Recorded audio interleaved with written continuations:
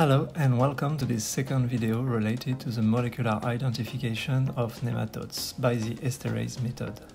In this video we will see how to make a polyacrylamide gel to analyze the samples of root knot nematodes prepared beforehand.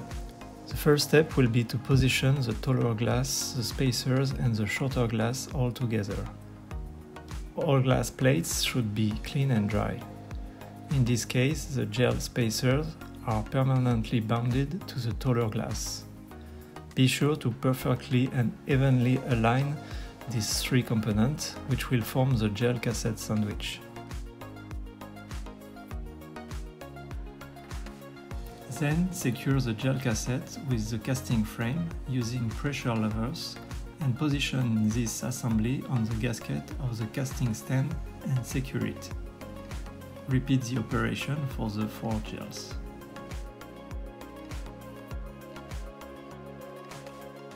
At this step, it's really important to test the assembly with water to avoid any leak. Repeat it for the four assemblies.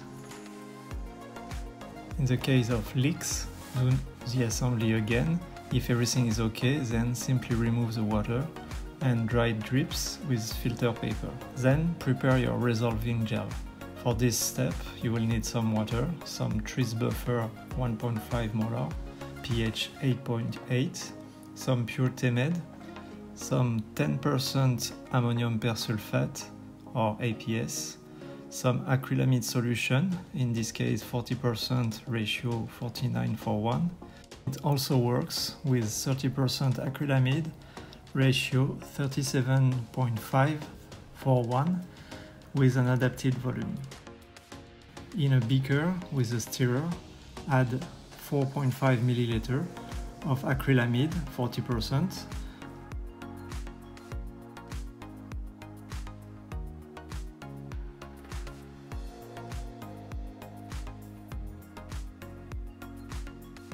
Add 13.5 milliliter of water.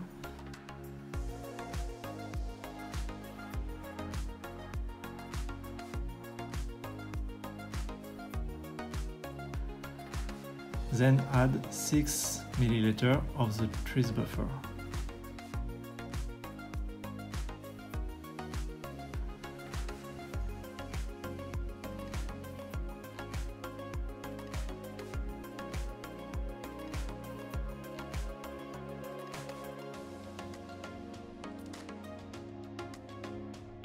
Add 128 microliter of APS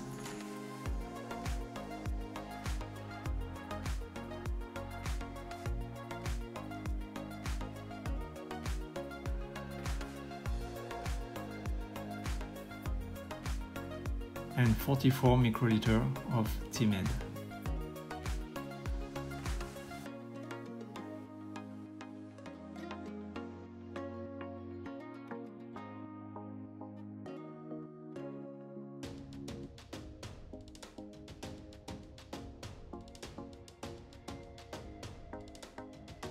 At this step, the gel will start to polymerize quickly, so use a syringe to distribute the resolving gel in the four gel sandwiches. And let some space for the stacking gel, approximately 1 cm below the comb.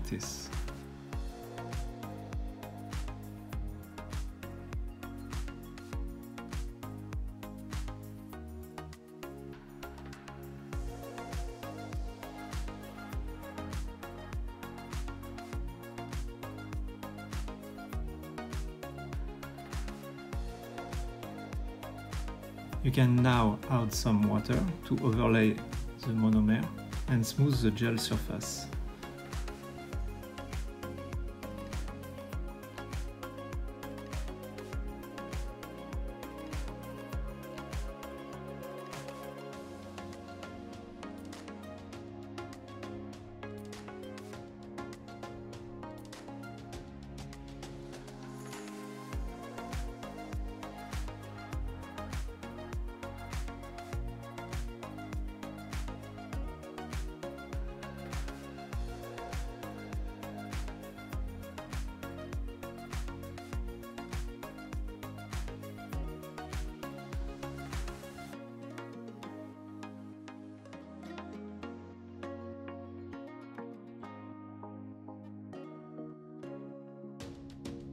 When the polymerization is completed, you can check it with the remaining gel in the beaker. And it can take between 20 to 60 minutes. You can safely remove the water and dry the top of the resolving gel with filter paper before pouring the stacking gel. The stacking gel will contain the same components at the exception of the Tris buffer which will be set at pH 6.8 and 0.5 molar.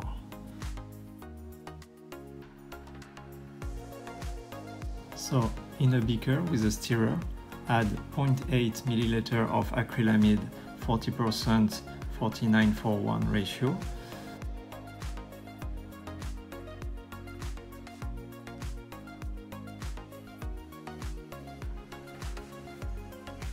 add 6.6 milliliter of water.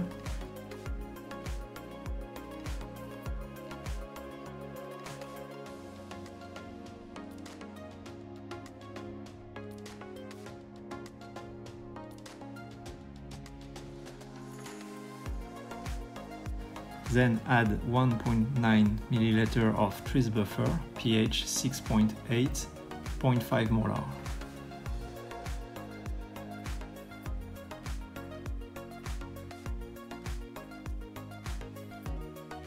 Add 70 microliter of APS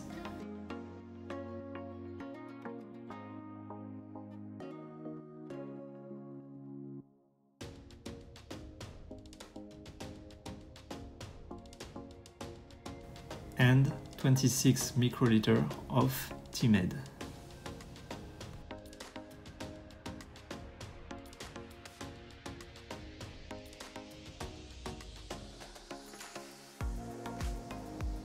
This step, the gel will start to quickly polymerize, so use a syringe to distribute the stacking gel in the four gel sandwiches.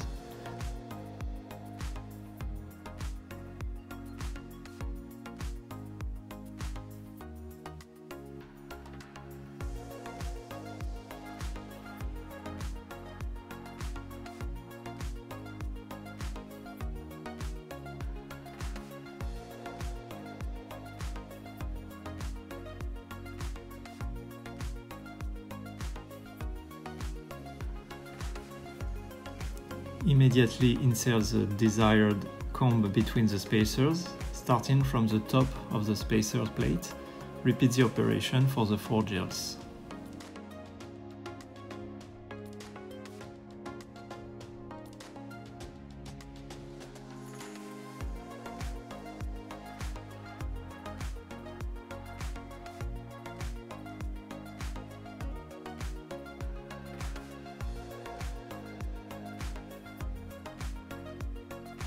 During the polymerization process, you can prepare the 1x running buffer with the 10x stock solution.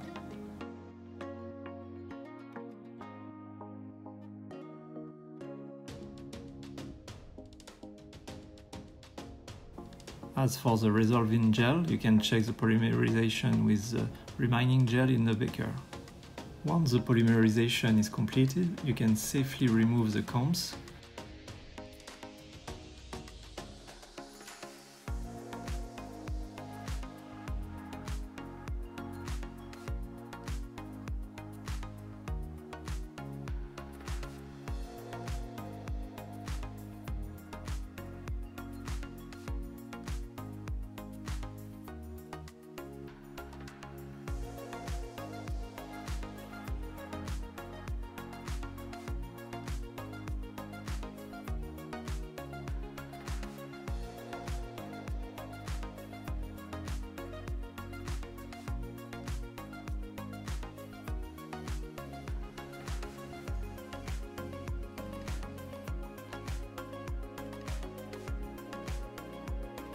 Note that APS and TEMED are crucial components for the polymerization process, so be sure to store these chemicals in right conditions.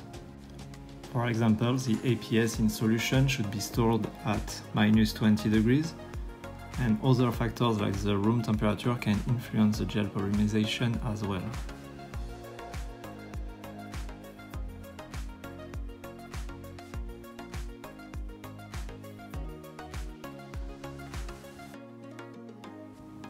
Remove excess of gel on the glass sides. You can now store your gel cassette sandwiches in 1x running buffer at 4 degrees for few hours before the electrophoresis. Here you can easily see the wells.